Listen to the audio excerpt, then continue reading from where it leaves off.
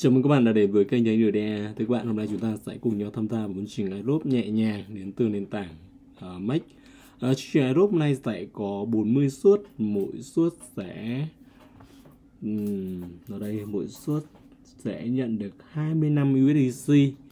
Uh, đây là một cái chương trình iRob ở bên Mac uh, trong một chương trình AMA của giữa Mac và nền tảng uh, Stader và với nền tảng này thì chúng ta sẽ tham gia với những, uh, những bước như sau. Nếu như anh em chưa tài khoản Mac thì anh em có thể đăng ký theo link phía dưới mô tả video.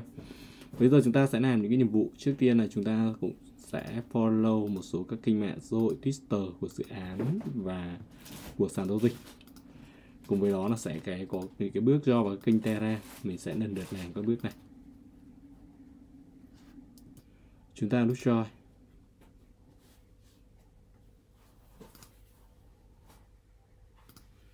follow.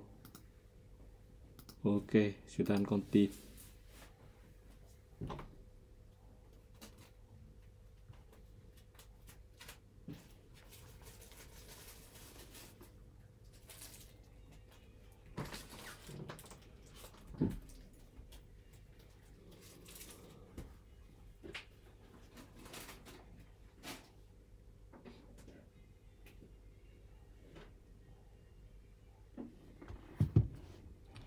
xác nhận xác nhận.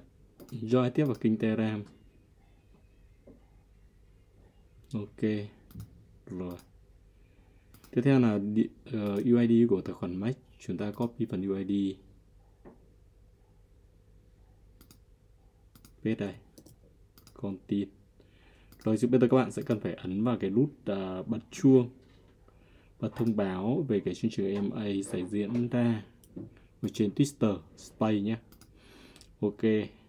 Rồi cuối cùng các bạn sẽ có link ghép và link ghép chia sẻ về tân đáp trường kênh ok vừa rồi chúng ta đã cùng nhau chia sẻ về chương trình ờ, uh, Twitter Space với dự án ờ, uh, Stader liên kết với nền tảng Mac. Cảm ơn em đã theo dõi video và xin chào các bạn trong video tiếp theo.